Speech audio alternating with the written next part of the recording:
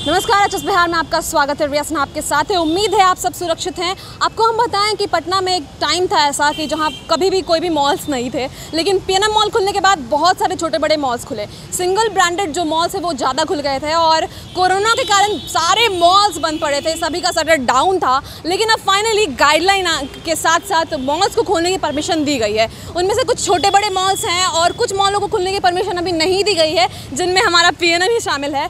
लेकिन हम आपको आज लेकर आए हैं जमाल रोड, पटना के जमाल रोड के वेस्ट साइड मॉल में। आप हमारे पीछे देख सकते हैं, यही है बिल्डिंग बिल्डिंग यहाँ का। और बिल्डिंग को है, वो पूरी तरह से सैनिटाइज कर दिया गया है। हमने स्टोर मैनेजर से बात करने की कोशिश की और अंदर जाने की भी परमिशन ली, लेकिन हमें परमिशन नहीं मिला उनके प्रोटोकॉल्स के कारण। लेकिन हम आपको बाहर से ही यहाँ का जो नज़ारा दिखाते हैं, पहले तो हम स्टाफ मेंबर्स पे आपको दिखाना चाहेंगे कैमरे को आप स्टाफ मेंबर्स की तरफ़ मुड़ा सकते हैं तो दिखाइए। स्टाफ मेंबर्स जो यहाँ के दिख रहे हैं, वो वेल मैनर्ड प्लस जितने भी सैनिटाइजेशन प्रोसेस हैं, वो पूरा यहाँ पे पूरी करते हैं। साथ ही साथ स्क्रीनिंग भी हो रही है और ये लोग भी पूरी सुरक्षित हैं। मास्क और शील्ड के साथ हम आपको बताएँ कि हमने स्टोर मैनेजर से जितने भी बातें की, वहाँ के जो एलिवेटर्स लगे हैं अंदर में उन सभी को बार बार सैनिटाइज़ किया जा रहा था हमारे सामने भी। और साथ ही साथ जो ट्रायल्स ट्रायल रूम है, उसे भी बार बार सैनिटाइज़ किया जा रहा है। और एक बहुत बड़ा सवाल होता है कि कपड़े जो है वो हम ट्रायल करते हैं तो फिर तो वो ट्रांसफ़र तो होता है वहाँ पर।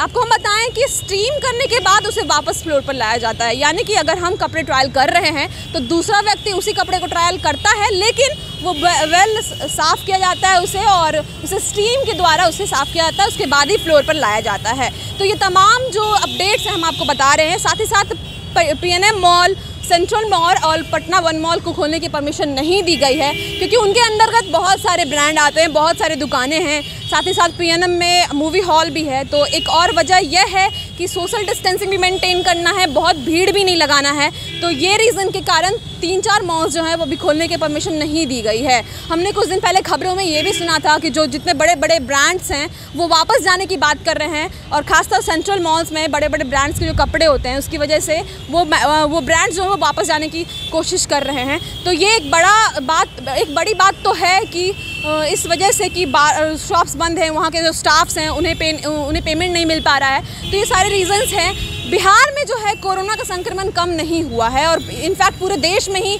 लगातार केसेस आ रहे हैं। बाकी जगह थोड़ा थोड़ा कंट्रोल्ड है सिचुएशन लेकिन बिहार पटना में खास तौर से ये सिचुएशन बिल्कुल भी कंट्रोल नहीं है। सोशल डिस्टेंसिंग मेंटेन नहीं होता है। मास्क का उपयोग नहीं किया जाता है। सैनिटाइज़र का उपयोग नहीं किया जाता है। तो ये खास तौर से हमें, हमारा जो शील्ड है, वो हमारा मास्क है, हमारा सैनिटाइज़र है, यही हमें कोरोना से बचा सकता है। इस बात को आप ध्यान रखिए, जब तक वैक्सीन नहीं आ जाता है, हमारे पास इन दोनों के सिवाय कोई उपाय नहीं है। तो बात को गौर पर रखिएगा। अगले खबर के साथ आपसे हम फिर से रूबरू होंगे। पटना में जितनी भी हलचल हो रही है आपको हम सब दिखाएँगे। तब तक के लिए आपसे विदा लेंगे। धन्यवाद।